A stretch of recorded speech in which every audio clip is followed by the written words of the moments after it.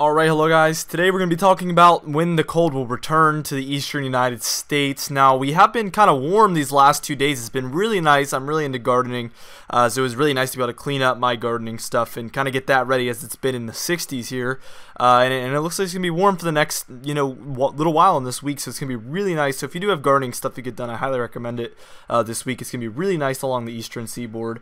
Uh, so I, I highly recommend getting out there and doing some stuff because it's going to be very warm, but cold is on the way uh, at least briefly. Now, here's right now we're looking at Monday 18Z. So this is this is today. Uh, this is what we're looking at. All those reds and pinks. That's really far above average, and that's why it's been so warm in all these areas. You see, there is a lot of cold there for the Dakotas and uh, Montana, those areas. Uh, but it's really been you, you, know secluded to those areas, and I, I expect it to spread a lot towards the end of the week, and that's what this whole video is about. So we're gonna move on one day, or actually a few days here uh, to all the way to Friday. So it's going to be warm along the eastern seaboard all the way till Friday. So we have many, many days here of very warm weather. Very nice weather to be outside. Uh, but by Friday, you can see it's kind of exclusive to just the very eastern coast of the United States and areas more inland like Ohio, Kentucky, Tennessee, and some of those Gulf states even westward are going to be cold by this point. Uh, and then and then here by Saturday, you can see the cold has reached the eastern seaboard and it will at least average on the east coast of the United States, if not slightly below average there for the east coast, and pretty far below average in some areas. Uh, but and then here by Sunday we get kind of average in some areas, kind of above average in some areas, kind of all over the place. Uh, but by Monday we have a little bit of a southeast ridge comeback according to this model, and possibly warmth uh, returning for early next week, uh, February 11th.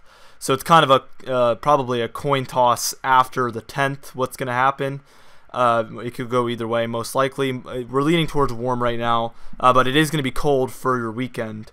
Now, here's a second opinion. Here's your European ensemble model, and you can see that uh, by Friday we have that warmth. And it, obviously for today it has the same forecast, but you can see it, it has that warmth uh, exclusive for the East Coast uh, by the Friday the 8th, yeah, February 8th.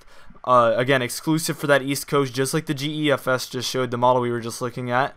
And then you can see by Saturday, uh, we're below average in the East Coast, just like the previous model, uh, slightly below average. And then, just like the other model, by Monday, we kind of have that southeast ridge come in and a little bit of warmth returning. So this is quite confident. We have two models in really good agreement here.